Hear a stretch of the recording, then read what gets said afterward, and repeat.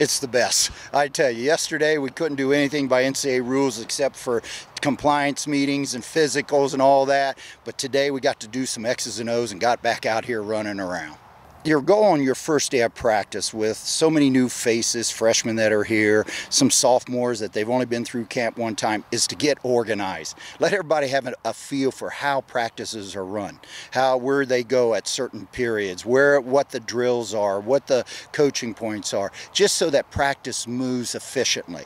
That's what you do on the first day. It doesn't move efficiently the first day. Everyone's filling it out, but after today it'll be better what we do, we introduce a lot of things to the freshmen. Upperclassmen, they have a good feeling of what we're trying to do with our drills, but you're introducing it to your freshmen so that they understand the coaching points and, and exactly how you want it to be done there.